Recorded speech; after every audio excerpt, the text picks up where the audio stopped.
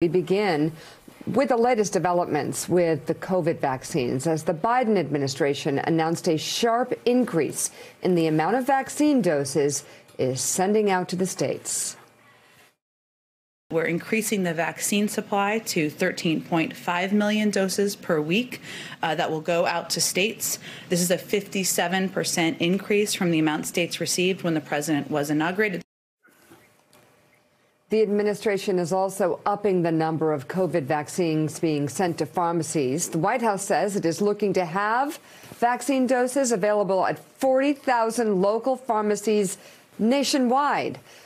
White House Chief of Staff Ron Klain tweeted, quote, vaccine supplies from the states up from 8.6 million doses per week when we arrived to 13.5 million per week now, up almost 60 percent in just four weeks.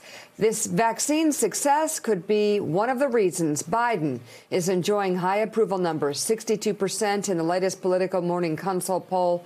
Critics pointing those, out those, that those actually it's very high. So, Willie, those are, are high numbers. Those are really high. Those are up there. The other guy, close to the top. Uh, the last guy, or however he referred to the other guy, uh, never got guy. close to. Never got the former guy never get the yeah. former guy never got within 13 points of that, and I just wonder if a lot of it just has to do with the fact that he's not saying insane things every two or three oh, seconds, but also uh, they have a plan. They have a national plan uh, for a rollout. Uh, the former guy uh, worked as hard as he could to not take any responsibility.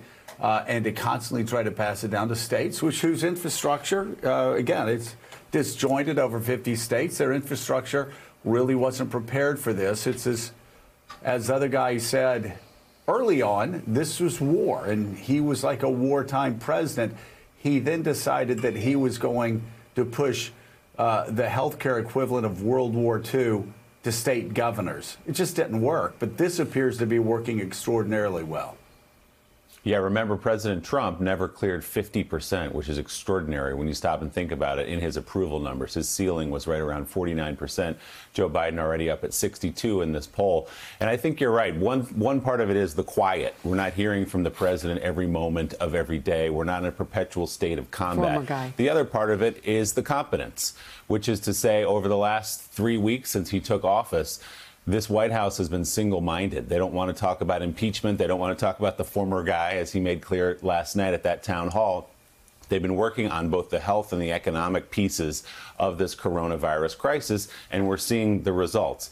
It is true that Operation Warp Speed started under President Trump, gave them a start and Dr. Fauci has said that, others have said that. But when you look at the acceleration of the production of vaccines and the distribution of vaccines, there's no question that this White House has taken it much more seriously and been more successful. Some critics pointed out last night that President Biden said there was, quote, no vaccine when he took over. He said there was nothing in the refrigerator, figuratively and literally speaking. But elsewhere in the town hall, he did correct that number.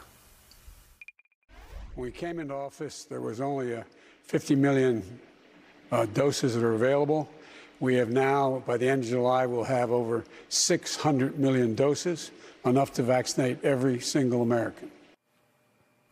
They really, Peter, they really do seem to be focusing on first things first here. And that's what you expect White Houses to do. Certainly, George W. Bush's White House post 9 11 was singularly focused on that. Uh, Barack Obama was singularly focused on economic recovery after the economic collapse. You would have expected Donald Trump to become singularly focused on this healthcare crisis. He just never could do it. So mm-hmm. this really is a return to normalcy. Joe Biden doing what I think most Republican and Democratic presidents in our lifetime would have done, and that is almost singularly focus on getting those vaccines out there to not only keep people healthy, but to get America's economy running again and to get kids back in school.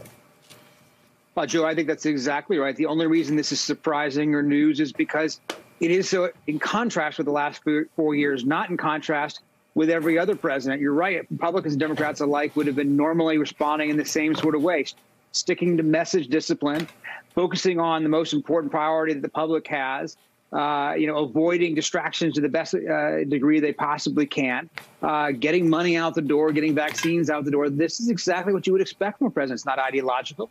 not partisan. It's just doing the main, uh, you know, features of the job. And you're Hey, thanks so much for watching our YouTube channel. You can follow up on today's top stories and breaking news or catch up on your favorite MSNBC shows all in one place. Download the NBC News app today.